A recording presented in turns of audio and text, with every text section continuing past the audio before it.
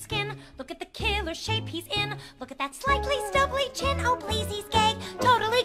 Gay. I'm not about to celebrate. Every trait could indicate a totally straight expatriate. This guy's not gay, I say not gay. That is the elephant in the room. Well, is it relevant to assume that a man who wears perfume is automatically radically fake? But look at his coiffed and crispy locks. Look at his silk translucent socks. There's the eternal paradox. Look what we're seeing. What are we seeing? Is he gay. or European?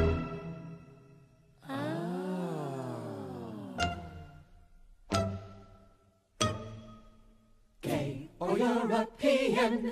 It's hard to guarantee. Is he gay or European?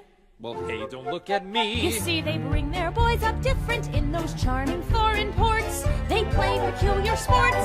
In shiny shirts and tiny shorts, They or foreign fella? The answer could take weeks. They both say things like ciao bella while they kiss you on both cheeks. Oh, please, Gay or European? So many shades of gray.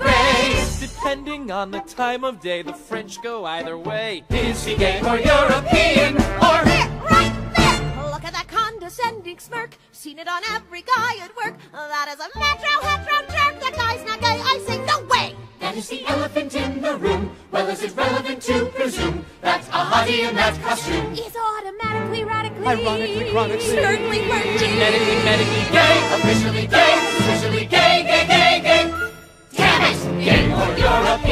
So stylish and relaxed. Is he gay or European?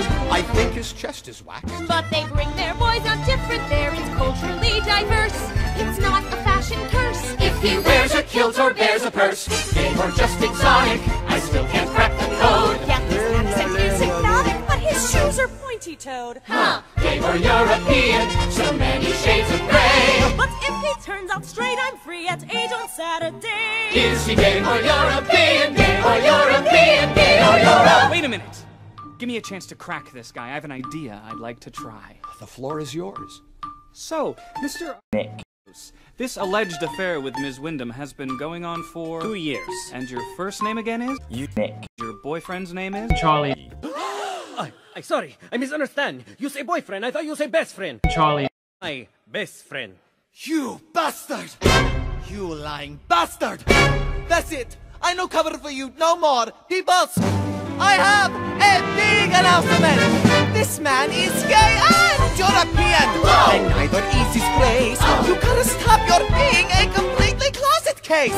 It's me, not her, he's seeing, no matter what he say. I swear he never, ever, ever swing the other way. You are so gay, you big parfait, you flaming one-man cabaret! I'm straight. You were not yesterday. So if I may, I'm proud to say,